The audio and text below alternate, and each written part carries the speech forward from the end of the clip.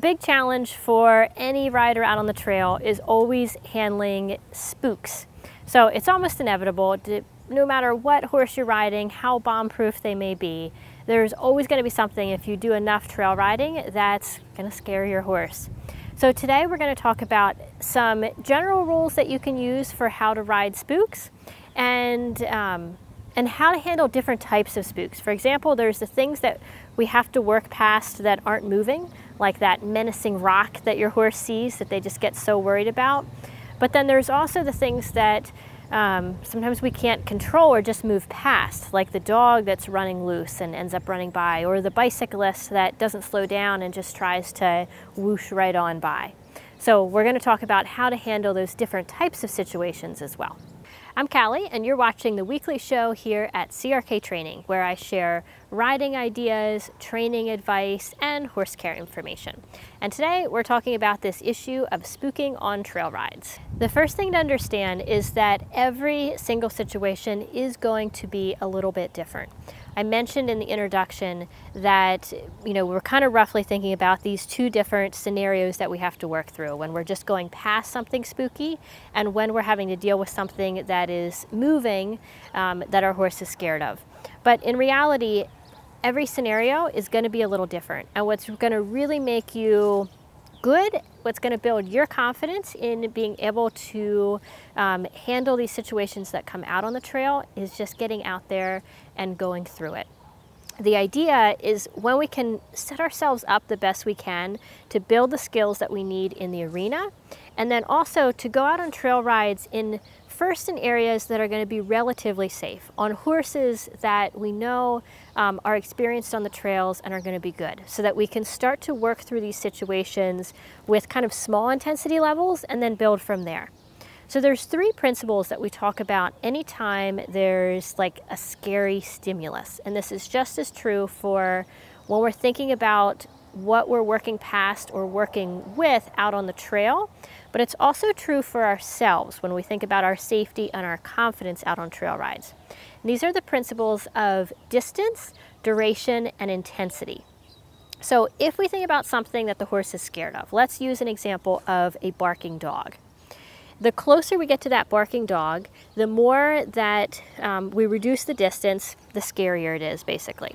So when we can um, work the distance, we can make it easier to work past something. So for example, if there's something scary and you can find a way to just go at a bigger distance around it, can make it easier to get past. We don't necessarily have to go right past everything. We can go give something a little bit more distance help our horses build confidence and slowly work closer as their anxiety, their fear level around that object starts to go down. The other principle is that of duration, and that's how long are we exposing ourselves to that scary thing. So this is again true for our horses. Uh, if we think about duration on the trail ride, it might be, is the whole trail pretty easy, but there's just like that one place that you have to ride past the, the neighbor's house with the noisy dogs? Or are you riding down a street where there's dogs everywhere and there's motorcycles and there's traffic? We can think about that as kind of being the duration, the length of time that we're exposed to it. The same goes for us as the rider and thinking about, you know, building our confidence on trails. If we can go out someplace where most of it's going to be easy, but there might just be those few challenging spots that we're going to have to work through, it's going to be better for us in confidence than throwing ourselves right into a situation with a uh, horse that is um, really inexperienced and tends to be really hot and sensitive out on the trails and an environment that there's going to be a lot to deal with. The third one is the idea of intensity. And I kind of started to actually explain that a little bit even with the, the last one. But intensity is just how, um, like how much of the scary thing, how intense is it? Going back to that barking dog example, three barking dogs is going to be more intense than one barking dog. And it's kind of the same for ourselves if we're um, on a horse that's pretty steady, but you know there's this one place that spooks them a little bit. That's a lower intensity than riding a horse out that is spooking at every every uh, blowing weed or every little change in the footing as you're riding along. So think about any time that you're um, building confidence, if you've ever had some fear out on the trails, it's just important, as important for you to be building your own confidence out there so that you can better help your horse work past the spooky things. So that's the kind of the theoretical part of this. The next piece is how do we actually start to um, work through or work past something scary. So we're going to start with the easier scenario, which is there's something up ahead that you're going to have to ride past and your horse is uh, scared of it. Let's just say it's something that is not going to cause any real harm. You know that, but your horse doesn't. Maybe it's that rock that just looks menacing. Maybe it's a blowing plastic bag that's caught on the fence. Or maybe it's just like a break in the trees that your horse is always a bit skittish about. What I like to do is, as I'm asking my horse to move towards that thing, I will, I'll ask them to move forward. If they stop and they're staring at it and they're staring in that way where they're they're very intent and focused on it. You know, their head is up, their ears are perked sharply forward, and they're really staring. I just wait there. I look at it with them. I keep my, uh, my breathing very regulated, but I'll just stand there, we'll both look at it, and I wait until the moment where I feel that they start to let down a little bit. So they might take a breath, they might relax, they might actually change focus and start looking at some other things, and then I'll ask them to move a bit closer. Oftentimes another four or five steps closer then brings them back to that point of, of high alert on the object where now again they're focused back in. And the same thing, I'm gonna wait there until I start to get a bit of relaxation at that point, and then we move in a bit closer. So I'm always um, careful not to start pushing my horse and pressuring for forward when they're already in that really alert, really highly focused on the object state. So I wait until they're starting to let down a little bit. They showed me that they're, they're building some even small amount of comfort at that distance before I ask them to move closer.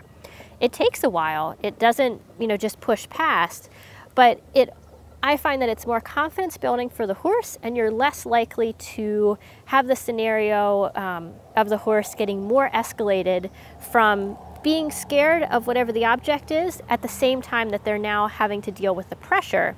And then we start to get these conflict behaviors where you might see more jumping to the side, the horse starting to rear, running backwards, and those sorts of things. So that's the scenario again where we're working past something. There are also many times where we have to uh, deal with something that is moving. Maybe it's moving past us or it's just, you know, moving up ahead and it's not something that we can just simply go past or take our horse up to. It also might not be something that we can go up and have the horse investigate to learn that it's okay. If there's a loose dog and the dog's acting like it might even be a little aggressive, we're obviously not going to ask our horse to go up to the dog. The skill that becomes really important in these types of situations is understanding how to move your horse's body. And this goes into our skill building in the arena of being able to move, um, ask the horse to move certain legs, be able to maintain bending, be able to ask for lateral movements. Because generally what I want to do when I have something that, that is moving that my horse is fearful of is I want to try to keep them facing that and I'm going to keep a bend in their body and I'm going to keep them moving laterally. So let's take an example of going down a trail and let's say there's a bicyclist that is um, coming the opposite direction. And my horse starts getting really worried, I can tell, about this bicyclist. And I can also see that the bicyclist maybe is not likely to stop. So what I'm going to try to do is see if I can find enough room that I can um, get off of the trail and that I can keep my horse facing this bicycle as it goes by. So that takes being able to manage my riding aids in a way that I can ask my horse to keep facing that, that I can keep a little bending. If they start to get worried that they want to move, I can ask them to move off laterally. Horses are um, much more likely to have like bolting and running off in a straight line they're, you know, they can have big jumps sideways, but they're not nearly as likely to just run off when we can channel that movement sideways.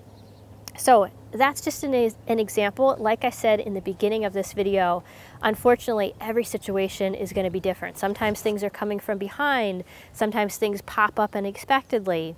But the more you can keep building your basic foundational skills in the arena, the more that you can have an idea of what you might encounter on the trail and set yourself up where there's going to be some challenges, but you're very likely to be successful, to be able to work through them and build your skills and your confidence that way, it's going to just set both you and your horse up for success and for happy trail riding. I'd really love to hear your stories. So on this one, I'd love for you to scroll down, leave a comment, and just tell us about one situation where you had something spooky come up and how did you work through it with your horse.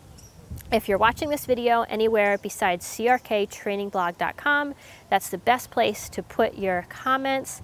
I look forward to seeing you there.